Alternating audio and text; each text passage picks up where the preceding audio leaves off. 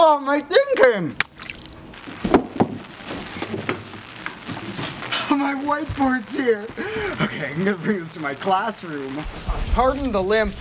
I had an incident in January 2021. Uh, I'll tell you about that later. Uh, I'm excited to put this in my new classroom. All right, time to go to my classroom back here.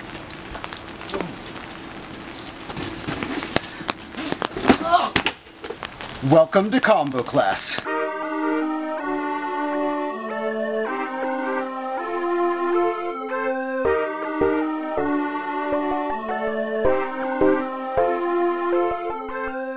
All right, now that we're starting up combo class, better establish some classroom rules.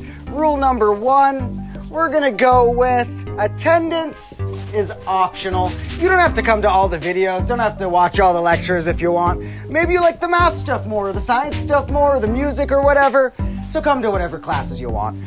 Rule number two, let's talk about dress code. There's gonna be no dress code. You can wear whatever you want. I mean, if we meet up in person, maybe don't come fully naked, but no dress code when you're watching my videos. Rule number three is gonna be to be skeptical of all rules. You gotta be careful which rules you follow and believe. Rule number four is that you gotta respect the classroom chicken. I think that there should be animals in more places. You know, doctors' waiting rooms would be a lot better if we had cats. This chicken, whoa, there's a little bug on him. Look, that's an unexpected visitor. This chicken is gonna have to do because I don't think a live chicken would have too much fun in this set right now. Maybe in grade negative two, I'll get some real chickens. For now, this ceramic one will have to do. And here we got a classroom clock. Now, this one doesn't have any batteries, but that's actually kind of better. If it had batteries, I would have to figure out what time it was, try and set it to that, and it would always be like a millisecond fast or a millisecond slow. Here with a stopped clock will be exactly right twice a day. In fact, it's exactly on time more often than all your clocks trying to be accurate. And if it was running backwards, it would actually be right four times a day. But for now, a stopped clock twice a day will have to do. And in fact, if I had some more stopped clocks, you know, one of them would be right more often during the day. If I had enough of these stopped things, we'd have one right every hour.